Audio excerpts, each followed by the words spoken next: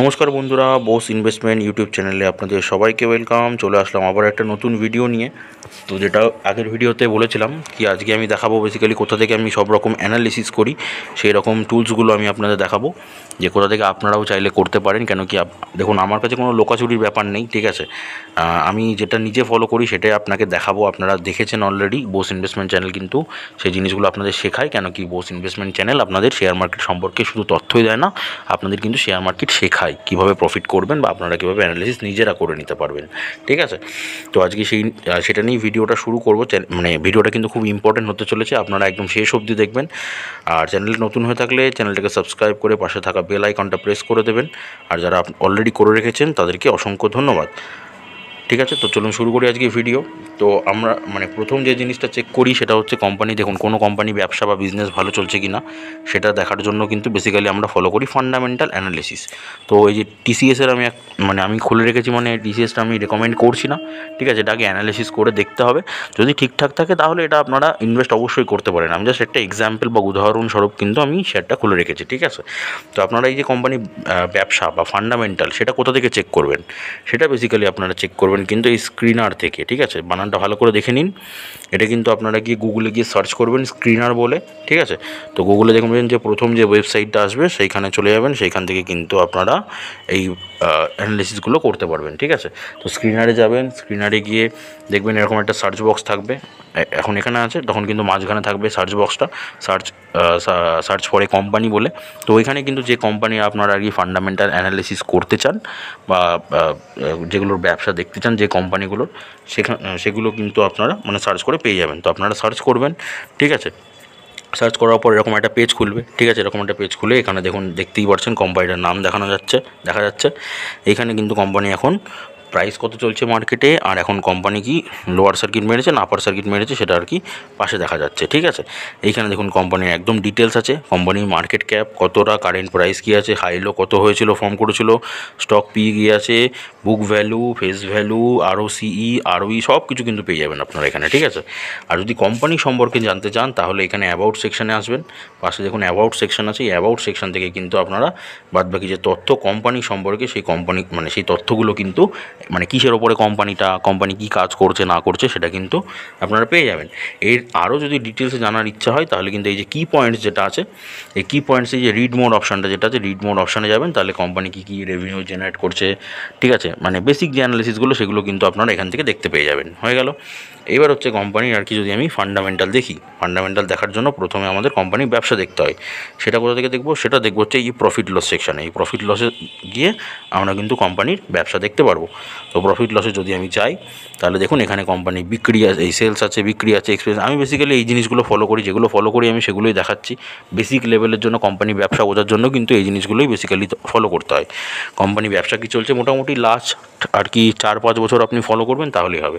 তো আমি যেহেতু এটা দু হাজার চব্বিশ চলছে, আমি মোটামুটি দু হাজার কুড়ি সাল থেকে ফলো করি, যে কোম্পানি বিক্রি বা যেগুলো অ্যানালিসিস করি কোম্পানি হচ্ছে দু হাজার কুড়ি সাল থেকে আমি বেসিক্যালি ফলো করি। সেলস এক্সপেন্সেস ঠিক আছে? আর একটু যদি নিচে চলে আসেন, তাহলে দেখতে পাবেন এখানে নেট প্রফিট আছে।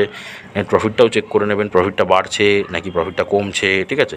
সেটা দেখে কিন্তু আপনারা মোটামুটি আন্দাজ লাগাতে পারবেন যে কোম্পানিটা ভালো, নাকি কোম্পানিটা কিন্তু খারাপ, ঠিক আছে? এটা আপনারা বুঝতে পারবেন অ্যানালিসিস করতে পারবেন।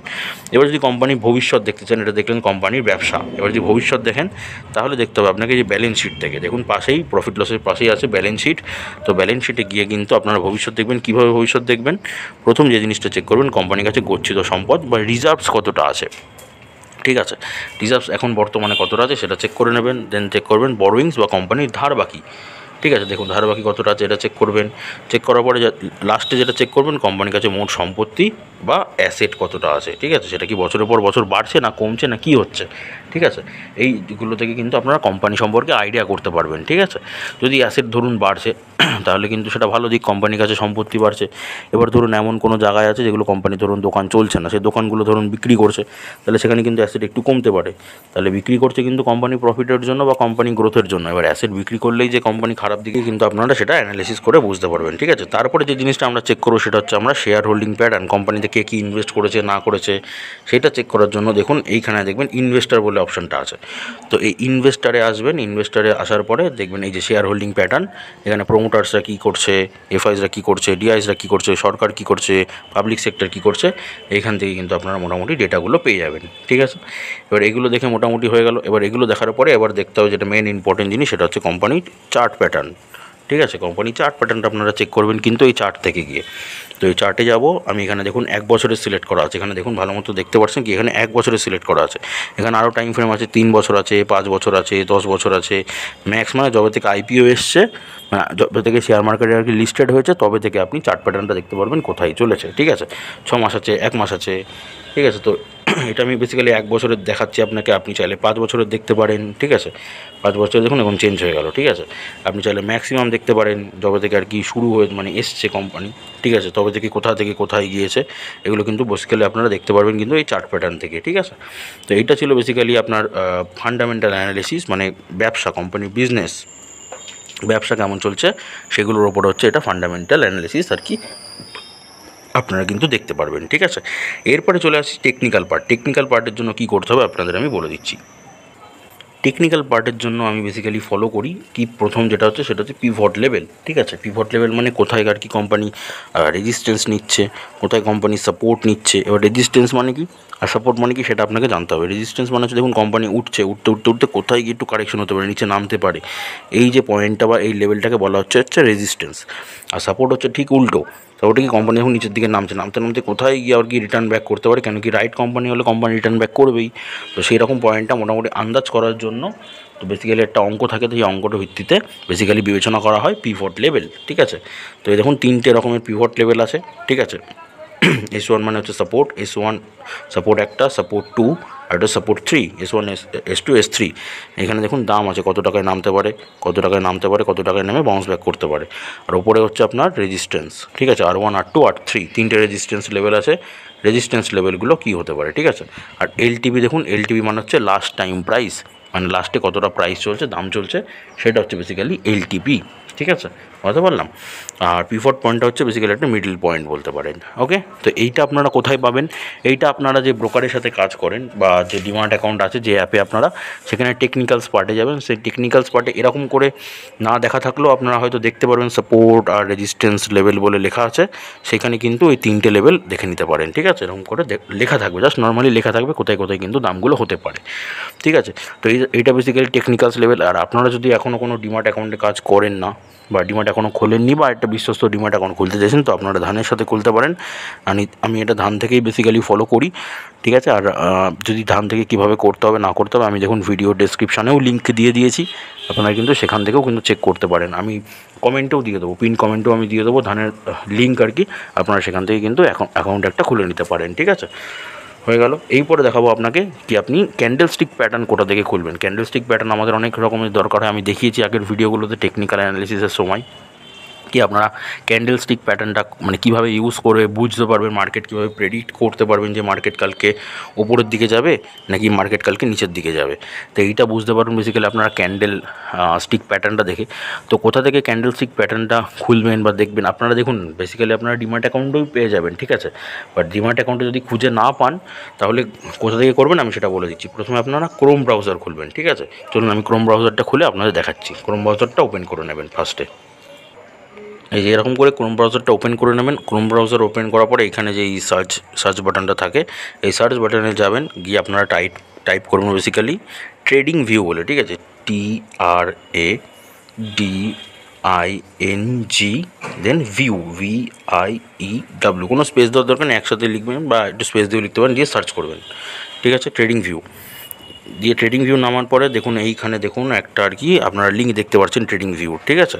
দেখতেই পাচ্ছেন তো এইখানটাতে হচ্ছে গিয়ে ট্যাপ করবেন ট্রেডিং ভিউতে তো। ট্যাপ করলাম ট্যাপ করার পরে ওয়েট করবেন দেন এই যে খুলে গেল ট্রেডিং ভিউ ঠিক আছে? এবার এইখানে দেখুন একটা সার্চ বক্স এসছে। দেখতে পাচ্ছেন এই জায়গাটা একটা? যে সার্চ মার্কেট হেয়ার ঠিক আছে? এরকম একটা সার্চ বক্স এসছে।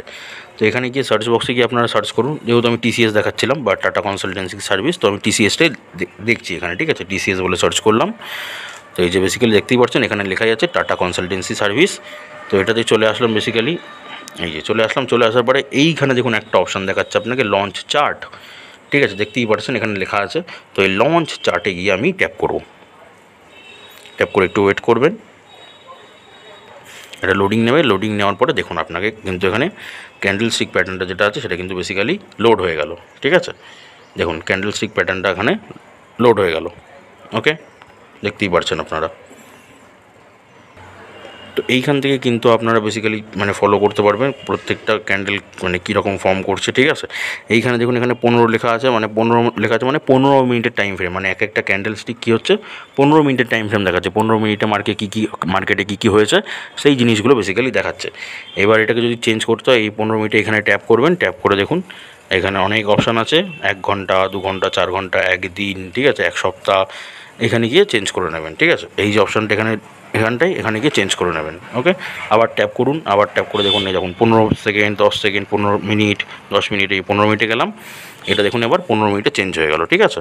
তো এইটা বেসিক্যালি হচ্ছে আপনাদের দেখানোর ছিল, এটা বেসিক্যালি আমি দেখিয়ে দিলাম কি আপনারা ক্যান্ডেল স্টিক প্যাটার্নটা কোথা থেকে চেক করবেন, ঠিক আছে? তো আমি বেসিক্যালি দেখিয়ে দিলাম কোন কোন টুল আমি ইউজ করি আর কোথা থেকে কীভাবে আমি মোটামুটি অ্যানালিসিস করি। তো আজকের ভিডিও এইটুকুই ছিল। আজকে আপনাদের দেখানো ছিল বেসিক্যালি অ্যানালিসিস আপনারা কীভাবে করবেন, আপনারা শিখুন কারণ কি সবসময় আপনার, আপনারা তো আমাকে পাবেন না। হ্যাঁ আপনারা কমেন্ট করলে আমি আপনাদের ভিডিওর যথাযথ রিপ্লাই করে দিই, সেটা ঠিক আছে, কিন্তু দেখুন, আপনারা নিজেরাও শিখুন একটু, শিখলে কী হবে, আপনারা যখন শিখে যাবেন, তখন কিন্তু আপনারা নিজেরাই বিভিন্ন রকম ফর্মুলা আর কি বার করতে পারবেন, ঠিক আছে?